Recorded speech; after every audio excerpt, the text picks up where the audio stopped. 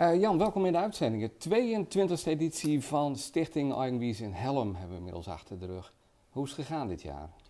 Ah, fantastisch. Ja, fantastisch. 22e keer. Uh, twee jaar dus niet gedaan. Ja. In verband met corona. En dan is dat altijd spannend van ja, hoe gaat zo'n toernooi dan verlopen.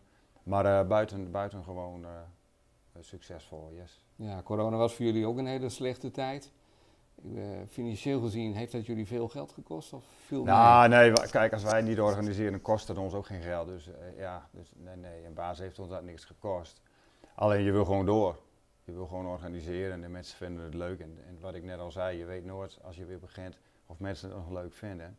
En dan is het altijd een gok van, uh, ja, hoe, hoe, hoe, verloopt zoiets? Maar dat was ja. dus, dat was, is ook zeer meegevallen. Ja. ja. volleybal en daarnaast ook voor broederen, werkt dat nog steeds? Dat werkt nog steeds. Die formule die we ooit hebben neergezet, die, uh, die staat nog. En daar houden we ons aan vast. Ja. Dit jaar een mooi jaar, dus weer eindelijk na coronatijd. Um, toch zijn jullie nu alweer bezig met volgend jaar. Je weet de datums ook alweer, hè? Wij, uh, wij gaan altijd een evaluatie doen na het toernooi om te kijken van wat kan er beter. En wat en, maar ook vooral wat ging er goed. En dan, uh, dan gaan we kijken naar het toernooi, wat komt schoolvakanties gaan we naar kijken en dan kunnen we een datum prikken. En dat is, dit, uh, dat is volgend jaar op 14 en 15 juli 2023. Dus, uh, ja, mensen denken even een potje voetballen. Oh, mensen denken even een potje volleyballen. Er komt heel wat bij te kijken om alles te organiseren. Neem alleen maar die infrastructuur die jullie in moeten nou, zetten. Dat is het ook. En daarom willen we ook op tijd datum bekend hebben. Zodat wij ook gewoon ons dingetje kunnen gaan doen. En dat we alles op tijd voor elkaar hebben. Dat hebben we gemerkt na corona, hè, dat was het eh, begin dit jaar, dat we pas uh, eigenlijk groen licht kregen van de regering dat we weer mochten. En dan ben je eigenlijk uh, al te laat, hè, dan loop je al achter. En normaal, het is nu, uh, nu eind oktober, zijn we alweer bezig met de voorbereidingen. dat hebben we toen in februari pas opgepakt. En, en vanaf februari dus eigenlijk een inhaalslag moeten maken. Dus, en, en dat, het is allemaal gelukt en dat, dat wilde mhm. wel, maar je loopt wel tegen bepaalde zaken aan. Dus je moet, uh, de ervaring leren dat je gewoon op tijd moet beginnen. Als je een datum weet, moet je gewoon beginnen. Nou, waar loop je tegenaan dan? Nou, reserveren van materialen bijvoorbeeld. Hè. Dat, dat, er zijn vorig jaar natuurlijk heel veel evenementen, of het begin dit jaar heel veel evenementen geweest. Uh, die, ook aan het inhalen waren, zeg maar. Hè, zoals wij ook wilden, wilden doen. En, ja. uh, en dan merk je dat de leveranciers ook best wel, best wel leverproblemen hebben. En, en, en dat wil je niet. Je wil gewoon je, wil gewoon je ding kunnen doen. Nou, jullie hebben ook altijd die feesttent erbij staan, s'avonds hele mooie feesten. Um, is dat een beetje te realiseren dan qua artiesten? Ja, dat, ja, dat, dat wil nog steeds. Er, zijn gewoon uh, artiesten en bands beschikbaar en daar, daar, kun je uit, uh, daar kun je naar gaan kijken en, en, en, keuzes gaan maken. Maar dat moet je ook op tijd gaan doen, want ja, de, de, de ervaring leert ook dat je zo rond de kerst wel je, je feestprogramma rond moet hebben, wil je nog een beetje keuze hebben. Ja, volleybal is uh, van een heel mooi niveau. Hoor ik jou altijd zeggen, hoe hoog is dat niveau anno 2022? Ik, ik ben zelf geen volleybal, dus ik kan het zelf moeilijk inschatten wat nou precies het niveau is. Maar goed, je ziet in die jaren heel duidelijk dat, uh, dat ook de teams professioneler zijn gaan worden. Hè? Want ik heb het al eens vaker gezegd. Toen we begonnen, toen kwam men in een korte broek en een t-shirt uh, lekker volleyballen. Maar ook teams hebben nu sponsoren voor een, die, die zijn een complete nu stoppen.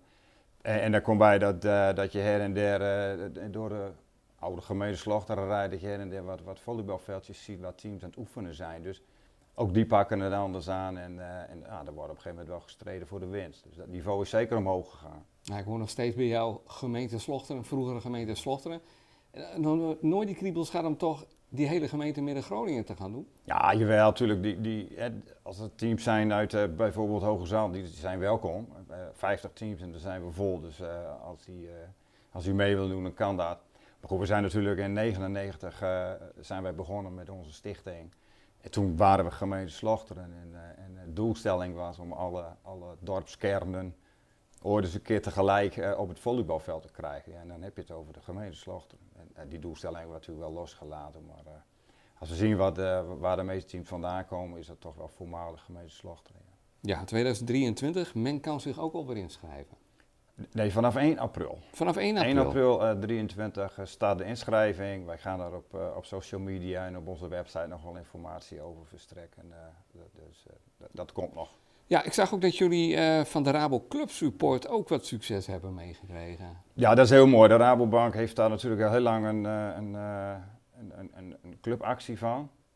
En zij willen graag de, de verenigingen, stichtingen en alle vrijwilligersorganisaties willen zij steunen. En, en daar kun je voor inschrijven en dan kunnen de leden van de Rabobank, die kunnen een stem uitbrengen en die kunnen dus stemmen op de verschillende verenigingen, stichtingen, vrijwilligersorganisaties die daar meedoen.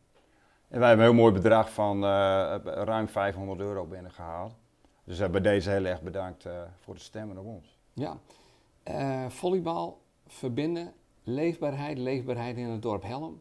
Dit soort zaken hoor je toch een boel klachten over dat het allemaal steeds minder wordt. Hè? Jullie werken daar heel hard aan. Merk je dat, dat het in de maatschappij toch wat minder is met die, uh, ja, eigenlijk die leefbaarheid? Nou, ik... ik nee, speelt het in het dorp aan? Nou, ik weet het niet of het speelt. Ik denk dat juist in, in deze regio, en de, de regio Schildwolde, Helm, Sidderbuur, dat het heel erg leeft. Hè. Kijk naar wat hier allemaal in de buurt wordt georganiseerd. Uh, Schildwolde doet van alles. Uh, wij in Helm doen van alles. En hier in Sidderbuur natuurlijk helemaal dus uh, ik, ik, denk dat de leefbaarheid hier, hier wel op peil is. Dus dan is het voornamelijk in een grotere plaatsen. En wat is dan het succes dat eigenlijk in die dorpen die samenhang er nog wel is? Ja, ik, ik, denk voornamelijk dat je het met z'n allen doet. Hè. Het is een beetje het ons kent onze cultuur wat we nog steeds hebben. Natuurlijk het dorpse wat we hier nog steeds hebben. wat we ook graag in stand willen houden. En, en, en ja, het is laagdrempelig dat, dat maakt het denk ik dat het hier nog steeds succesvol is. Ja, dat is ook het doel hè, van volleybal gebeuren. Zeker. Laagdrempelig, iedereen mag meedoen. Ik bedoel, het net even over kwaliteit, maar het maakt niet uit of je nou goed of slecht bent. Hè? Nee, maakt niet uit of je goed of slecht bent. Uh, je moet wel redelijk te been zijn natuurlijk. Maar goed, voor, voor, daar, dat is ook de reden dat we ook uh, twee, uh, twee leuke feestavonden hebben. En op zaterdagmiddag voor, voor de kleintjes natuurlijk wat vertieren op het sportveld. En zodat onze, onze doelgroep eigenlijk iedereen is. Kortom, op naar 2023. Op naar 2023, we hebben er zin in.